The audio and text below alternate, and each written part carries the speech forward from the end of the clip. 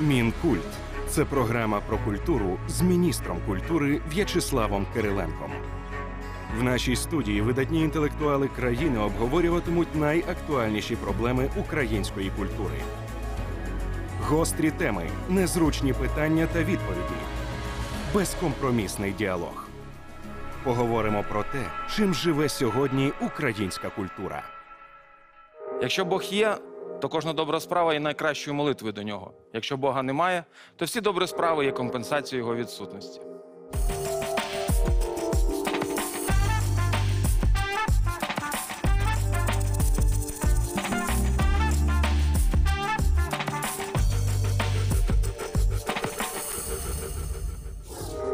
Добрий вечір. В ефірі програма Мінкульт. І сьогодні у нас в гостях лідер гурту Тартак Сашко Положинський. Добрий Доброго вечір. вечора. Олександр Положинський, лідер і засновник гурту Тартак та Бов'є, громадський діяч, лауреат премії імені Василя Стуса. Закінчив економічний факультет Луцького державного технічного університету. Був активним учасником двох революцій помаранчевої та революції гідності. Перед останньою переїхав до Луцька та заснував ще один гурт Був'є. З початку бойових дій Сашко дав більше 40 концертів у зоні АТО. На початку грудня Положинський відзначив 19-річчя Тартака. А вже наприкінці року гурт презентує восьмий альбом.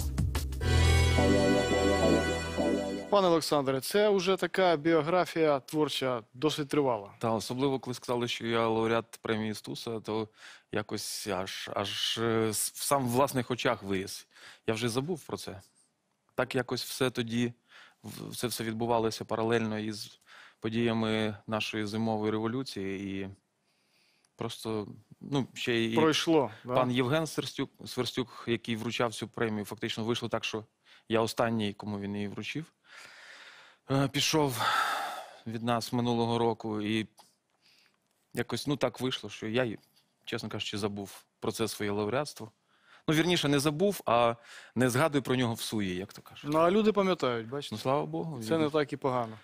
Може, може, завдяки тому і, і я трошки своє життя змінив за останні пару років. Я став більше працювати, менш, менше даю собі можливості розслаблятися і частіше йду на е, якісь е, виходи із зони комфорту. На, на такі речі піддаюся легше останнім часом. Хоча думав, що навпаки, з роками все буде інакше. А це ви що маєте на увазі? Більше музики, більше роботи чи щось ну, бачите, ще ну, суміжне? як, як було сказано, започаткував ще один проект. Тобто я Був зараз, є. був є. Зараз тягну два, і от вийшов уже новий альбом Тартака. І ось ось, я сподіваюся, до кінця цього року має вийти дебютний альбом Був є. Ну, Відповідно, значно більше роботи на студії, значно більше творчої роботи. Ну, а, а крім того, багато інших речей. Від чогось я, звичайно, починаю з часом відмовлятися від того, чим займався раніше. Зараз, наприклад, менше беру участь у різних там протестних акціях, менше кудись хожу.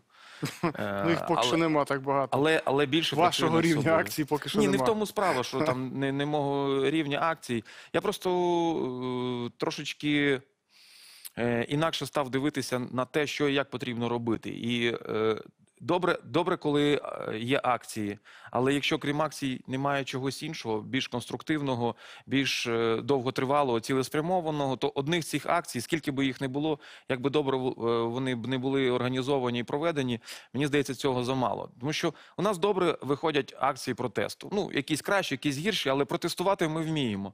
Але натомість дуже часто за тим проте- протестом не стоїть якась зустрічна пропозиція. От нам це не подобається.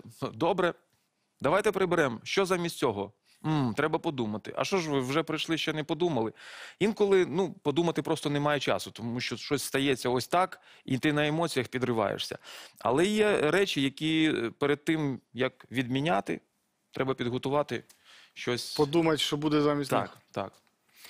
Ну, до речі, от е, ваш цей творчий шлях весь він паралельно іде із громадською, місцями навіть політичною, я би сказав, активністю, діяльністю. Ну, швидше громадською. Ну, мене вже звичайно. кілька разів вітали з тим, що там ласкаво просимо в політику і так далі. І, і Ну, це- ви туди ніколи не заходили. ну, може, Прямо там, я може маю на трошки увазі, вступав, але, але ш- швиде- швиденько. вчасно виступили. Е, Ну, насправді, е, ну, в політики е, треба йти тоді, коли ти маєш чим туди йти. Просто, просто йти в політику заради того, щоб туди прийти, ну я не бачу ніякого сенсу. І на мою думку, політиком повинна ставати людина, по-перше, яка готова стати політиком, а з іншого боку, яка має за собою команду, знання, вміння, розуміння, що і як треба е, змінювати. Якщо ж йти в політику для того, щоб захищати там якісь там свої приватні інтереси або е, інтереси якихось приватних осіб, які тебе в цю політику скеровують, то це точно не моє. Тому Ну, да. Це поки, точно що, не поки я не готовий. Це я не точно готовий. не ваше. До речі, ваші пісні завжди супроводжували найбільш масштабні акції протесту. Помаранчеву революцію, та і цю. І, і, і до цієї революції процес, який відбувався, до останньої революції, супроводжували ваші пісні. Тобто ви відчуваєте цей нерв дуже точно. Ну, я просто в усьому, що я е, народжую як автор, та, в усіх піснях, в усіх текстах, е, е, ну, я так чи інакше присутній сам. Я не пишу про те, від чого я відсторонений, а пишу про те, чим я переймаюсь. Це можуть бути почуття, відчуття, спостереження, життєвий досвід, досвід інших людей, з якими я поспілкувався, вони мене надихнули. І зрозуміло, що якщо я вболіваю за ситуацію в країні, якщо я е, бачу якісь проблеми, які мене турбують, то дуже часто вони знаходять відображення і в текстах в моїх піснях. Але з іншого боку, це накладає там е, ну, певний такий відбиток ярликовості. Кожна медалька має дві сторони, як то кажуть. З одного боку, добре, що е, мої пісні торкають людей, добре, що мої пісні е, виявляються для людей близькими, актуальними. І я дуже знаю багато прикладів, коли е, люди дійсно дякують мені за конкретну пісню, яка допомагала чи допомогла в якійсь конкретній ситуації. Я, я власне ну, завжди кажу про те, що найбільша проблема е, української музики, сучасної української музики, в тому, що вона не може дійти до свого потенційного слухача. І коли там мені дуже часто там е, звинувачення кидають, там, та що ти постійно там про свою українську музику? Що ти постійно всіх піариш? Що ти постійно плачешся, що о, там вас там десь там не почули, не побачили, там, чи, чи не вас мається на увазі Тартак, а ну взагалі там українських музикантів. Я кажу, ну у нас просто є велика проблема, яка заважає розвитку. Це те, що ми не можемо ніяк до, достукатися до тих людей, яким це буде потенційно цікаво. Просто шляхи в більшості випадків перекриті, і дуже багатьом, е, вірніше, дуже небагатьом вдається через оці вхідні бар'єри перескочити. І от мені здається, уже тут я з вами, як з паном міністром, спілкуюся. Мені здається, що. Е, Треба, щоб держава сприяла, щоб усіх от бар'єрів не було. А, а я вже не кажу про те, що що треба підштовхувати, якісь там зелені коридори і так далі. Ну це вже складніше, але хоча б допомагати нам прибирати оці вхідні бар'єри, які нам штучно ставляться. Тому що ну, є конкуренція. Є конкуренція з боку інших ринків музичних, західних, східних. І вона Є- нікуди не дівається. Є, є, є е, конкуренція зав'язана на політиці. Ну, цілком зрозуміло, що е, коли мова йде про існування незалежної держави Україна, то це значить і про існування української культури, сучасної української культури, яка е, неможлива без існування незалежної держави Україна, так само як існування незалежної держави І Україна держави не- неможливо без Так, української так, культури. так я ж кажу, що це взаємопов'язано. І звичайно, що в, в умовах, коли в незалежності України є конкретні вороги, то значить і в української культури ці вороги є, і, і прямо чи опосередковано воно теж відбувається на, на цьому. До речі, про це саме практично всі музиканти, які були у мене в гостях на цій передачі, Ну так ми можемо говорити. Ми Скрипка можемо про це говорить. Ніби у нього давно жодних бар'єрів не повинно бути. Він каже: я не можу донести в тій кількості, в якій хочу свою музику на радіо. Ну і це Всі кажуть, або особисті стосунки, або дуже ніша має бути. А в результаті е, істотних змін все одно не відчутно, тому що навіть квота є на вітчизняних виконавців 50%. Це, до речі, і україномовна, і російськомовна Ну, музика. Оце дає можливість. Вона не виконується ця квота, або але, виконується але, вночі. але навіть оця от невизначеність, хто є українським виконавцем, дає можливість спекулювати на тому, що в принципі е, музиканти ну просто там народжені в Україні, та уже, уже під, підпадають, або там десь в якомусь е, закордонному колективі є хтось родом з України, вже і його можуть там Правильно, от питання. У нас є радіостанції, цілком законні, які мають ліцензію від Нацради, на яких протягом доби немає жодної україномовної пісні. Тому що квоту вони заповнюють російськомовним вітчизняним продуктом. В результаті української пісні на хвилі немає взагалі. Такі хвилі інколи навіть є достатньо затребуваними. Місцями популярними, бо ця вся попса російська звучить. Ну, але Коли говориш про підвищення квоти, я збирав, як міністр Ага. культури, як ви кажете. Криком всі проти стоять, в тому числі і цілком патріотичні люди, радійники, кажуть, там ми цю не можемо виконати. Як ви можете нас примусити? Ви ж не можете вказувати слухачу, що йому слухати. Ну, І це е, питання. Якщо говорити там про радійників, та, от, ну, в більшості вони просто навіть не намагаються дізнатися. Я людина, яка, ну, мені здається, з головою занурена в сучасну українську музику, бо я постійно вишукую щось нове для себе. Я шукаю, я полюю на нове. І, і те я час від часу відкриваю щось таке, що давно, виявляється, існує, але воно існувало поза е, моїм Ну да, там, е, полем зору. Не, невідомо було. А, а радійники звикли, ну в більшості своїй, я не хочу там узагальнювати, але в більшості своїй звикли працювати з тим, або що вони знають, або з тим, що їх особисто найбільше цікавить, або з тим, що їм принесуть і покажуть. Звичайно, якщо ми там говоримо про е, якісний бік та, сучасної української музики, то можливо так, дійсно. Е, не всі, хто би хотів е, звучати по радіо, і в кого там є цікаві пісні, здатні зараз е, зробити запис на належному рівні. Хоча технології розвиваються, але технології все одно рано чи пізно впираються в людський фактор, і не вистачає у нас просто фахівців, які на високому рівні е, вміють цими технологіями користуватися. Але з'являється дуже багато нових молодих музикантів, і навіть в цих молодих музикантів уже дуже часто є проблемою навіть не те, що вони там е, в мову впираються. Бо, бо багато хто з сучасної молоді якраз уже е, намагаються виходити на міжнародний рівень, і тому вони вже там англомовні, там, чи English, франкомовні, чи іспаномовні, чи ще якісь. От. Але питання в тому, що все одно з боку вітчизняних засобів масової інформації до них дуже мало уваги. І прямо їм доводиться стіни головою пробивати чи прогризати можливість десь, десь щось потрапити. Комусь щастить більше, комусь менше. І тут ми знову ж таки впираємось уже те, в той факт, що якщо років там 15 тому та, в Україні було кілька потужних фестивалів, які допомагали засвітитися новим іменам, згадаємо Червону Червона руту, рута. перлини сезону, е, Так, мала сцена. Таврійських ігор і так далі. Було дуже багато. Рок екзистенція, було Так. дуже багато фестивалів, які допомагали проявлятися новим іменам. Молодим іменам. І засвітившись е, раз на такому великому фестивалі, ти вже мав шанс. Ну, з продюсерами у нас було складніше. Що продюсерів у нас було мало і зараз мало, ну в хорошому сенсі, які візьмуться і, і, і доведуть тебе до належного рівня. Але е, в кожного, хто засвітився на, на сцені такого фестивалю, завжди був шанс, що звернуть увагу якісь там організатори інших концертів, якісь там засоби масової інформації, десь е, покличуть на телебачення, десь запросять на радіо, десь візьмуть інтерв'ю.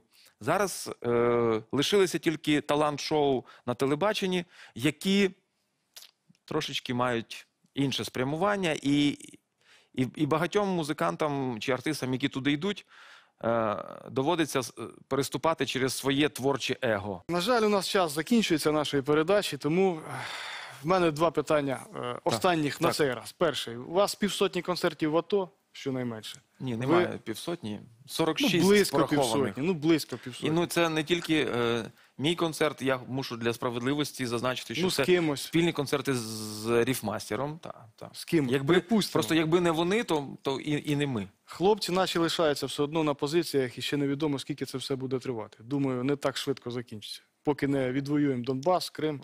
Коли, Ви збираєтесь продовжувати коли цю потрапляєш практику? туди, то здається, що е, воно не те, що не так швидко закінчиться, а що воно навіть е, зовсім не так триває, як, як нам тут в тилу це показують. От. е, Що стосується планів, ви розумієте, Оці ну, зараз ця хвиля так трохи Оці, скорочується. конц... оці концерти, ну не знаю, як для кого. Я от е, на днях повернувся з одного з таких концертів. Я навіть там в себе на Фейсбуці написав про це. Воно, вони затягують. Вони затягують тим, що. Ну, я не знаю, як інші мої колеги, я не можу за всіх розписуватися. Скажу за себе. От я переживаю на таких концертах ті емоції, яких в мене немає на, на цивільних концертах. Це, це зовсім інакше. Можливо, там менше зовнішніх проявів, можливо, там менше якоїсь активності, можливо, там е, публіка більше налаштована е, сприймати те, що ти їм дав, і засунути собі там глибоко десь в душу, в серце, ніяк тобі це не показуючи. Так. А на цивільних концертах там навпаки, там всі Навпаки, відкриті, треба одне, показати, одне да. одному віддають, обмінюються і так далі. Але все одно ті емоції, які я там переживаю, вони мені настільки потрібні, що е, це присаджує. І кожен раз, коли з'являється нове запрошення, хлопці, приїдьте.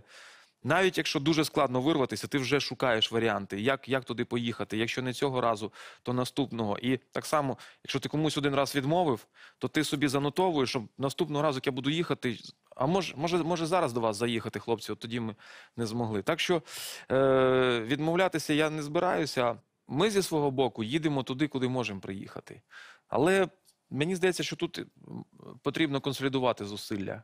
З одного боку держава, з іншого боку, люди, Волонтери, мистецтва, е, І... які б види сучасного мистецтва чи не дуже сучасного мистецтва вони не представляли. З іншого боку, так, дійсно, там якісь активісти, волонтери і так далі. Плюс треба залучати так чи інакше бізнес, тому що ну звідки візьмуться гроші? Е, Брати з бюджету, так хто ж на культуру з бюджету дасть? Та ні, із бюджету треба давати, і ми це робимо. треба, але треба і щоб приватна ініціатива також в цьому плані а, мала а от тут місце. питання: а як зацікавити е, потенційного спонсора? Знову ж таки, треба Це, ж це такі концерти, що тут навряд чи може бути спонсор. Це швидше громадянська позиція. А чому? А чому ні? А, а треба продумати. А якщо, а якщо дати там е, потенційному спонсору якісь там е, пільги, там податкові, там Ну, Це якісь інші закон про преференції. меценатство. да. Завжди, завжди можна в- вигадати, як людей зацікавити. І він подумає, що мені про- краще зробити пряму рекламу чи прик- рекламу опосередковану. Можливо, мені є сенс підтримати цей проект, ніж заплатити більшу частину там податками. Тут, тут Цікава ідея, треба думати. це не моя ідея. Навіть не думати, а треба приймати нарешті закон про меценатство, який буде і в цьому напрямку працювати. Але ж у нас, ви знаєте, е, там, де виникає меценат, виникає підозра про ухилення від податків. І так воно по колу все бігає вже скільки років. Але, але, але насправді так ти не і меценат, мує. ти уклоніст. Ну так, так і має бути. Ну так, ну добре. Хай, хай він ухиляється від податків. Ти просто хочеш не доплатити податки. Ну, хай, все- хай, все. він, хай він ухиляється від податків, але він дає гроші на щось інше. Але потрохи ситуація переламується в цьому питанні. Починає це розуміння більше бути. З приводу останнє питання. так. Наступний рік, 20 років. Як думаєте це діло відзначати? А, ідей безліч. Ідей стільки є, що вистачило би на три ювілеї, я думаю. Що з того вдасться реалізувати, я не знаю. Знову ж таки, впирається в що? В те, наскільки ти маєш можливість реалізовувати, наскільки ти маєш можливість донести те, що ти вигадав до публіки, наскільки ти маєш можливість залучити якесь фінансування під це діло. І е, знову ж таки, якщо говорити про святкування 20-ліття, то воно у нас в грудні місяці. Ну, в грудні Тартак народився. Так. Це треба рік прожити. От Ще залежить ще, яким буде рік цей. Тому що рік попередній був дуже поганий в концертному плані, дуже мало концертів, дуже багато концертів як-небудь організованих, дуже багато концертів, де в останній момент тобі сповіщають, що концерт відміняється, а ти вже туди їдеш на цей концерт. Дуже багато випадків, коли е, беруться за організацію нібито благодійних концертів, а виявляється, що насправді це не благодійний концерт, а просто е, людина вирішила погратися в щось. І, Мгм. і ти розумієш, що м, ці люди поняття не мають, що таке сучасний концерт, як його організовувати і так далі. І користі благодійно ніякої від того концерту немає. Але от людина потішила своє власне его, що от я тут провів концерт, залучив таких артистів і так далі.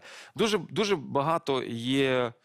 Е, Проблем, які нібито не стосуються нашого 20-ліття, але якщо ці проблеми ми не зможемо якось так чи інакше вирішити, то ми можемо просто не дотягнути до 20-ліття, як і кожен інший український колектив, який, ну скажімо, е, у нас можливо є десяток, які почуваються дуже впевнено в плані там е, цікавості з боку і аудиторії, і засобів масової інформації, і так далі. І є кілька сотень, які весь час балансують. Між Туди чи туди? так, да? так. Чи, чи ще тягнути цього воза далі, чи, чи час уже зав'язувати. І от ми в цих кількох сотнях, на жаль. Тартак мусить і обов'язково дотягне до першого 20-ліття. Так що Ну, будемо допомагати, якщо потрібно. ну, Всім миром. Ну, якщо, якщо поставити завдання саме дотягнути, ну я думаю, з цим Це я зацитував вас. ми, ми справимося. Добре, я дуже дякую за цю розмову. Будь ласка. І нагадаю, що в гостях програми Мінкульт сьогодні був лідер гурту Тартак Олександр Положинський. До зустрічі.